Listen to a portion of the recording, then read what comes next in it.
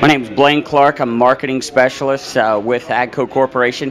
What I want to do now is just show you a little bit about this cab here. We have the largest cab in the industry here as far as volume. You got 116 and a half cubic feet. So what does that mean? That's what we really want to show here is what does that mean? It's not just a larger box. We're talking functional space here.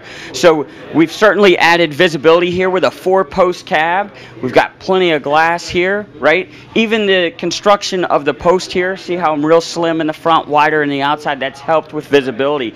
So we have a lot of visibility here. When I talk about comfort as well, when we talk about functional space, you see this flat floor here, got plenty of room to be able to move your feet either underneath the seat or stretch all the way out.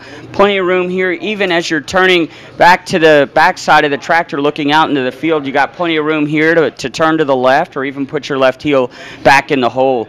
So you can see several features that we've added here. There's one you can't see. There's a solar panel on top of the cab here, and that is to give a trickle charge on the battery so that we constantly have a charge on the battery.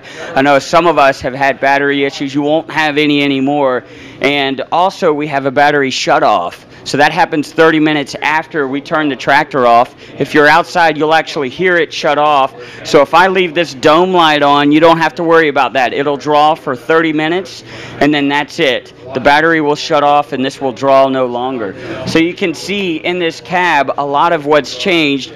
But again, just imagine uh, we've got um, farmers, customers that are staying in this cab for 8 to 12 hours now with the added space, the comfort, the cab suspension, as well as the visibility has added great comfort to this cab. You'll be comfortable certainly as your time in here.